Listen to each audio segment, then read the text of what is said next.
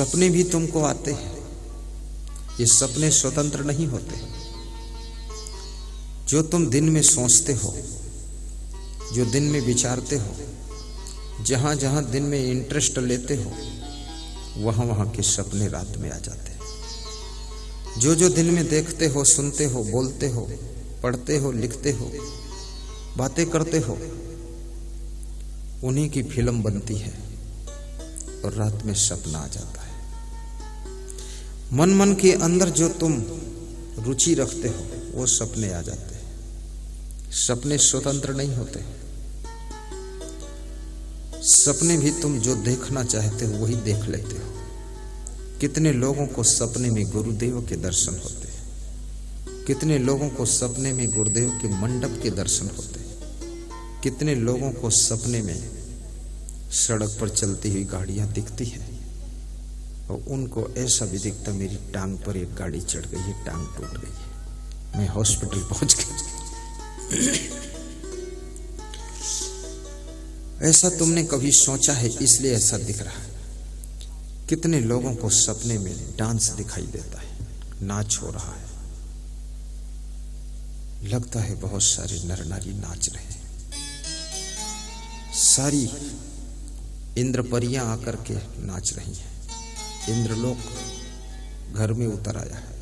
तुम्हारी खाट पर इंद्रलोक आ गया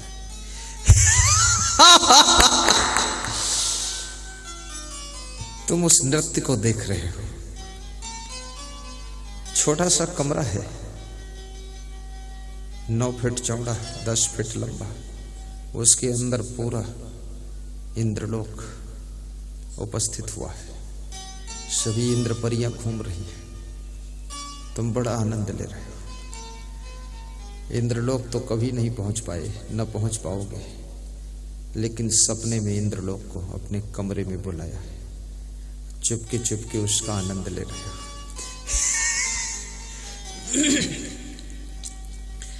जागृत अवस्था में जिन चीज़ों को तुम प्राप्त नहीं कर पाते हो, और यदि उनमें तुमको रुचि है तो वे सपने में सब तुमको मिल जाती है। कितने लोग सपने में बहुत अच्छी मिठाई भी खाते हैं। पेमेंट भी करते हैं हलवाई की दुकान पर। और सपने में उनको दिखता है, पूरा बाज़ार लगा हुआ है, मेला लगा हुआ है। कितने लोग सपने में शादी भी करते हैं। हर रोज नई नई लड़की से नए नए लड़के से शादी करते हैं। बड़ा आनंद लेते हैं।